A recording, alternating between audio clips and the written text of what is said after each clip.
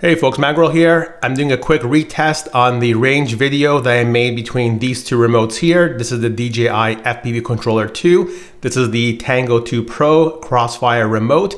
And the reason why I'm doing the retest is because some of you pointed out in the comments of the prior video that even though I turned off the low power mode on the O3 Air unit, that the air unit does not actually go into full power unless the quad is rearmed, or I guess the quad is armed.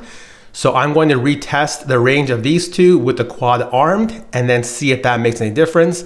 Make sure you watch the prior video first. I will link you in the video description. All right, let's get going. The garage door closing means that we've left and we are following the same path as the prior video.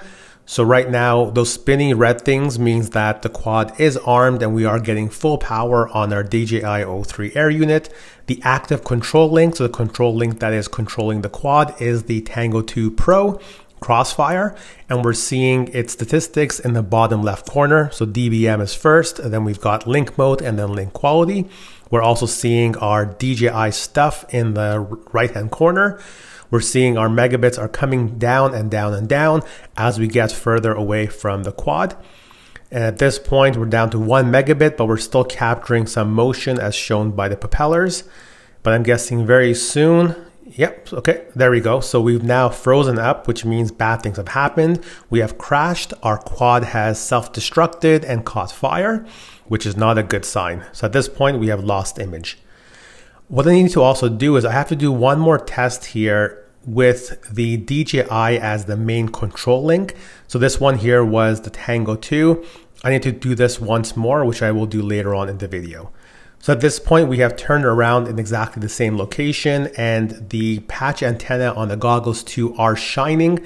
So you can see that very quickly we regain megabits and things start to look very, very good. So to summarize, I think you guys were 100% correct. By having the quad armed, I was able to go further and now we'll look up in Google Maps how much further I went and I will post it on the image here. But what I want to do next is something that was requested in the prior video, and that is leave the goggles in the garage and only take the DJI remote with me and see how that looks like.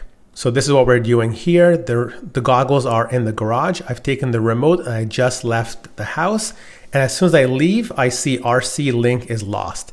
And I think what is happening here is that the remote controller is using a low power link to the goggles. And then the goggles, those are the ones which are really communicating with the quad. So you see, I still don't have RC link. It hasn't come back and I'm back home now. I'm almost back into the garage and finally do I get RC Link back. Now here we're gonna do our second test and this test here is using the DJI Controller 2 as our main link. So I've disconnected the Crossfire and everything you're seeing here is based off of the DJI controller. And I'm now heading back out again. So we're gonna look very closely at the right hand side to see what our megahertz does. We're going to keep an eye on those props just to make sure that we know when the quad is armed and when it's not. So right now the quad is armed, so we should be getting full power on the O3 Air unit. And we can see everything's looking good so far. I've got 50 megabits and things are looking pretty good. And what I suspect is going to happen is that as we lose the image, we're going to also start to lose the remote link just based off of the test where we left the goggles in the garage and we walked away. I think the goggles are a big part of the new O3 system. And that's where bad things happen. If the link in the goggles is not very strong to the quad, the whole thing just falls apart. So we're going to see if I can prove that in this particular test. So as you can see, I'm walking away. Megabits are, are dropping. HD signal is coming down. RC signal still shows four bars. So it continues to go down, continues to go down. So let's see what happens. And we can see RC link is still showing four bars, which just kind of proves how unreliable that particular indicator is. So we're down to 9 megabits, so we should be getting to the end of the usable signal of the image.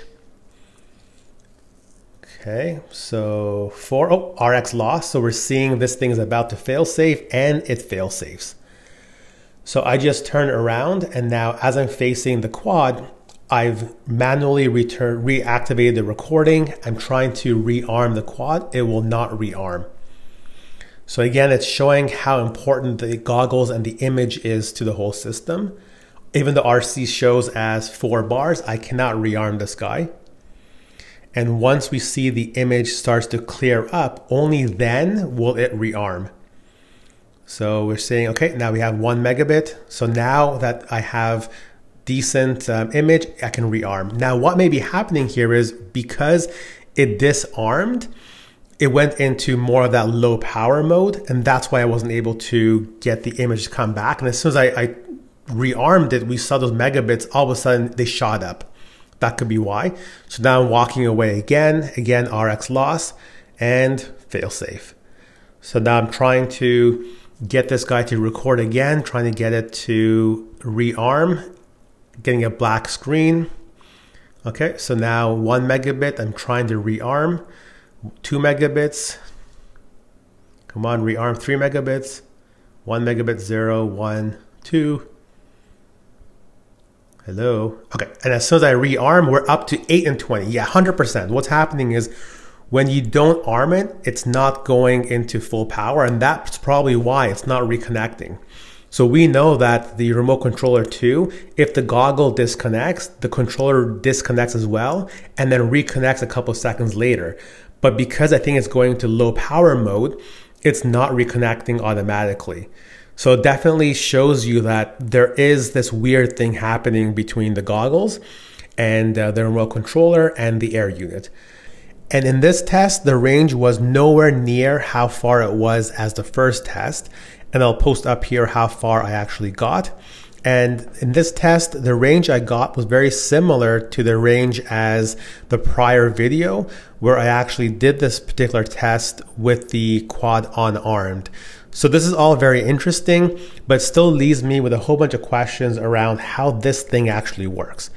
So I hope that this video helps you get a bit more clarity in terms of what real life um, experience you can have with the O3 Air unit, the goggles 2, along with the FPV controller 2.